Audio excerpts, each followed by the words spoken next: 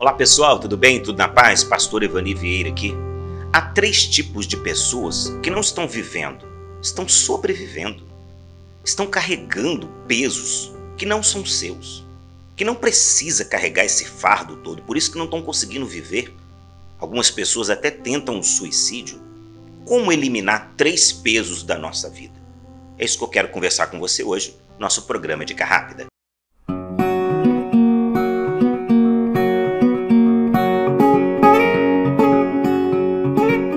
Lá, o que são pesos? A Bíblia chama de fardos.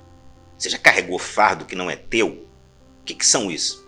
Problemas, sentimentos, emoções, responsabilidades que você não precisaria carregar. Não são seus, não pertencem a você, mas por algum motivo você que está carregando isso.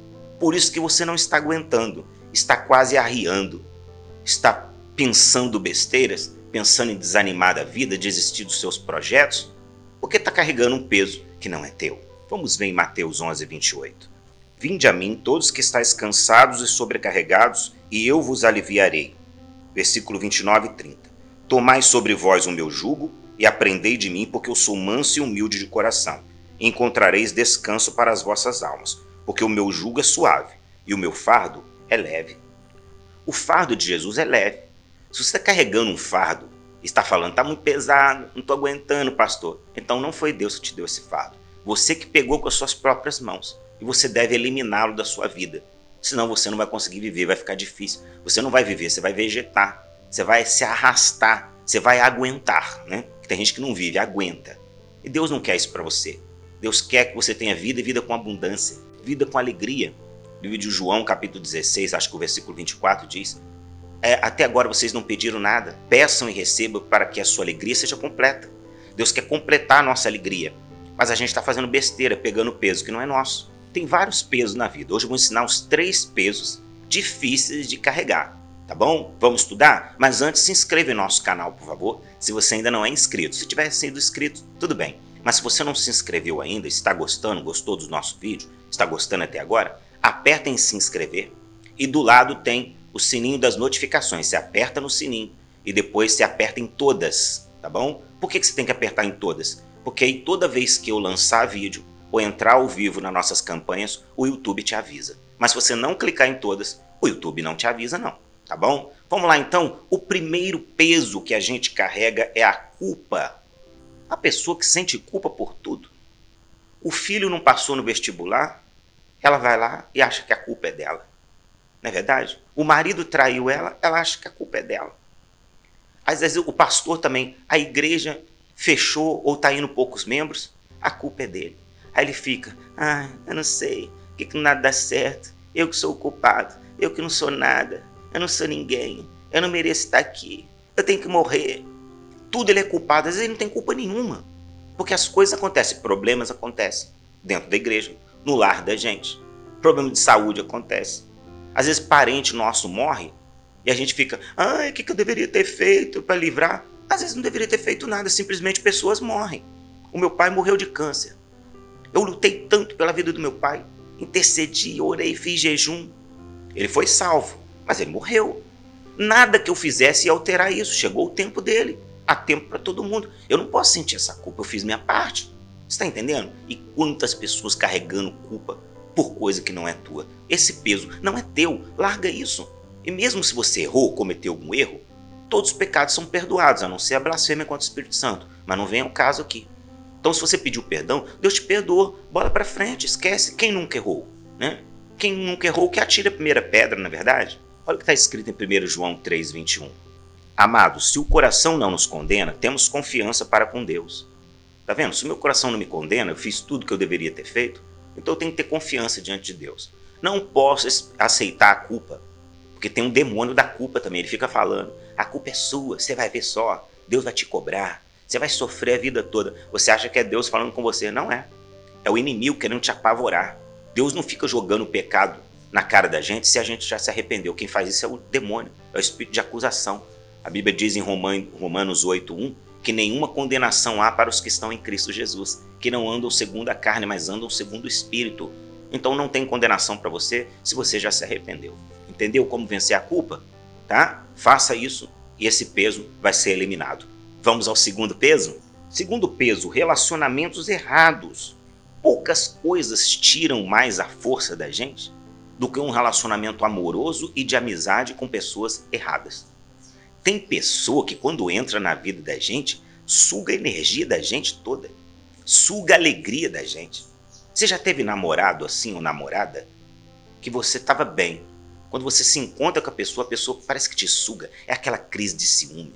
É briga toda hora. Hã? A pessoa, a pessoa é uma pessoa carregada porque você está no relacionamento errado. Você está carregando esse fardo que não é teu. Você tem que eliminar esse peso. Estou falando namoro, não casamento. Casamento tem que procurar consertar. Evite o divórcio a todo custo. Eu estou falando namoro. E às vezes também tem a amizade. Você está bem dentro da igreja, buscando ao Senhor está sendo usado por Deus, está pregando, está dirigindo culto, mas começa a ter amizade com uma pessoa, começa a andar de dois em dois, e quando você está com essa pessoa, essa pessoa fala mal da igreja para você, fala mal do pastor e você já está desanimando. Aí você carrega um peso. Que peso é esse? Peso de relacionamento errado. Você não pode andar com gente que não presta. Essas pessoas vão te levar para o abismo. É melhor ter amizade com Deus do que com o homem. Tem pessoas que Deus preparou para andar com a gente, preparou. Mas tem pessoa que veio, parece que do inferno, para nos perturbar. Você lembra da história de Sansão? Sansão era um homem de Deus, matava mil homens com a queixada de jumento, um homem que botava para quebrar. Mas quando ele arrumou a, a, a namorada Dalila, a vida dele foi para o espaço. Ele pegou um peso que não era dele, a ponto dele ficar cego e ser humilhado pelos inimigos. Não entra nessa não. Joga as Dalilas para fora da tua vida para você ter mais santidade e intimidade com o teu Deus. Olha em Provérbios 13, 20. Anda com sábios e serás sábio, mas o companheiro dos tolos sofre aflição. Tá vendo? O companheiro dos tolos vai sentir alegria. Não, vai sentir aflição. Não ande com gente tola. Então, pessoas erradas tiram as nossas energias. Pessoas certas nos ajudam a vencer as tribulações. Porque tem pessoa que se aproxima da gente para roubar o nosso dinheiro, se aproveitar de nós, brigar com a gente, ter inveja da gente, fazer macumba contra a gente, tentar fazer pergunta para descobrir como é que você está vivendo para poder te criticar. E você ainda não percebeu isso, né? E você todo inocentemente andando com a pessoa. Por isso que você está sentindo esse peso. Até na hora de dormir você não consegue orar. Até as suas costas. Porque quem está com esse peso, as costas arriam um pouco. A pessoa que fala com outra assim, ó, em vez de ficar ereto, fica assim, ó. Não sei se você já percebeu. As costas mesmo fisicamente. Chega a arriar assim, ó, o ombro, entendeu? É horrível isso. Então, vigia. Relacionamento amoroso ou amizades erradas acabam com a sua vida. É um peso desnecessário para você, tá? Vamos ao terceiro e último peso de hoje. A mágoa. Tem muita gente que guarda mágoa. Não perdoa de jeito nenhum. É por isso que fica carrancudo, fica desanimado. Ah, pastor, eu não tenho força de ir para a igreja, não. É, irmão, é. Ah, eu também não estou com disposição para casar, não. É, eu não vou ficar procurando um amor, não. Ah, eu não estou com disposição, estou desanimado de buscar um emprego. Por que, que as pessoas fazem isso? Normalmente, vai conversar com elas. Elas estão com mágoas. A mágoa é um peso terrível, joga você para baixo totalmente. Tem pessoa que tem mágoa do pastor, mágoa de ex-marido, mágoa de vizinho, mágoa da mãe, do pai que morreu um tempão. Sabia que tem pessoa que tem mágoa de gente que já morreu? Essa pessoa fica sempre amargurada, difícil dar um sorriso, e acaba desviando da presença do Senhor. Perdoe as pessoas. Sabe por que você tem que perdoar as pessoas? Porque você é a mesma coisa que as outras pessoas. Você que se acha superior. O diabo colocou na tua cabeça que você não faria isso. Como não faria? Você é quem? O apóstolo Pedro mesmo disse que todo mundo podia negar Jesus, menos ele. Ele foi o primeiro a negar. Não existe isso de que eu sou melhor do que os outros. Me perguntam muito nas redes sociais, pastor, como é que eu faço para perdoar? Só você ser humilde. Como assim? Só você considerar o outro fraco e que você poderia ter feito a mesma coisa no lugar do outro. A pessoa diz, eu não faria. Aí é arrogante, entendeu? Nenhum arrogante perdoa, entendeu? Para perdoar tem que ser humilde. Lembra quando José do Egito perdoou seus irmãos? Por que, que ele perdoou seus irmãos? Porque ele sabia que ele também poderia ter feito isso. Na cabeça dele ele não ia fazer, mas só que ele era ser humano e estava sujeito a isso. Então, como ele era humilde, ele conseguiu perdoar.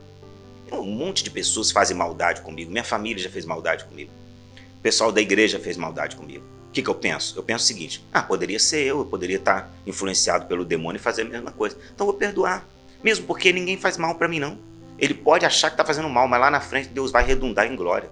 Deus só me honra. Só me honra diante dos meus inimigos. Eles tentam me derrubar e Deus me coloca lá em cima. Então, para que eu vou ficar com mágoa deles? Quem fica com mágoa prejudica a si mesmo. Vai ter doença depois, porque a mágoa chama o câncer. Não sei se você já estudou doença psicossomática. Você, a mágoa é, é vai trazendo depressão, angústia. E você, no emprego, você não é bem querido, não é bem quisto. Porque o patrão fala, nossa, a pessoa está sempre carrancuda, está sempre reclamando. Pessoa magoada não é feliz, não consegue casamento. Os filhos não têm prazer em ficar com ela. Você não ganha nada ficando magoada. Joga esse peso fora em nome de Jesus e perdoa a pessoa. É, Deus é que vai tratar com ela. Se Deus quiser puni-la, tá, aí é com Deus. O seu papel é perdoar. Mateus 18, é o que vamos ler agora, 21 ou 22. Está escrito assim. Então Pedro, aproximando-se, lhe perguntou: Senhor, até quantas vezes pecará meu irmão contra mim e eu lhe perdoarei? Até sete? Jesus lhe respondeu: Não te digo que até sete vezes, mas até setenta vezes sete ao que Jesus fala aqui. Você tem que perdoar direto. Isso aqui é uma figura de linguagem. Claro que não é 490 vezes que a pessoa deve perdoar a outra. E sim é um número infinito de vezes. Isso aqui é uma, é uma figura de linguagem. Então disse para Pedro, Pedro, você tem que perdoar quantas vezes a pessoa pedir perdão. Porque você também é pecador, Pedro. Não se esqueça. Se você não perdoar ele, eu também não perdoo você. Olha aí. Então aí ficou a questão. Se eu não quero perdoar as pessoas, eu não tenho direito do perdão a Deus. E se eu não tenho direito do perdão a Deus, eu vou para o inferno. É muito sério isso que eu estou falando. Então, como vencer a mágoa? Perdoando todo mundo, entendendo que todas as pessoas são fracas. Forte é Deus. Aprenda a perdoar, para o sorriso voltar aos seus lábios. Para sua família, seu patrão, seu pastor, agradecer a Deus pela sua vida. É tão bom chegar nos lugares e sorrir, né?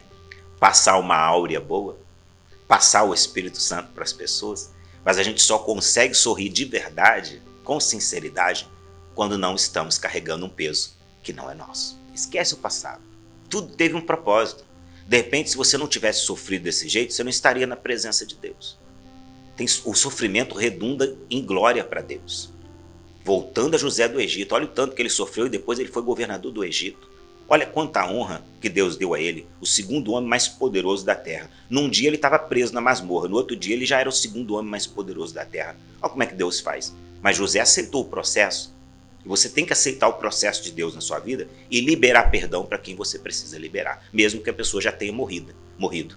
Fale com Deus, Deus, eu libero perdão para essa pessoa, meu coração está limpo, Senhor, porque ele pecou, eu também pequei, todos nós somos pecadores. Perdoe, Senhor, meu Deus, limpa o meu coração. A Deus vai lá e limpa. Tudo que Deus está permitindo na tua vida é para você crescer espiritualmente. Você tem que entender isso, tá bom? Se esse vídeo sobre tirando o peso das costas te ajudou, deixa o seu like e vai lá agora e compartilhe. Você não pode deixar de compartilhar esse vídeo para que mais pessoas tirem o peso. Tá? Tem muita gente passando peso perto de você, na sua família. Vai lá. Quem que você acha que está com peso? Vai lá. Compartilhe no WhatsApp, no Instagram, no Facebook, no Telegram, onde você quiser, para que mais pessoas sejam abençoadas.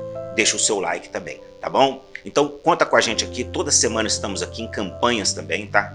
Terça, quarta e quinta nós estamos em campanhas pela sua vida, campanhas de oração, onde a gente ora forte pela sua vida, tá? E mais vídeos no decorrer da semana. Deus abençoe até o próximo vídeo, se Deus quiser. Paz.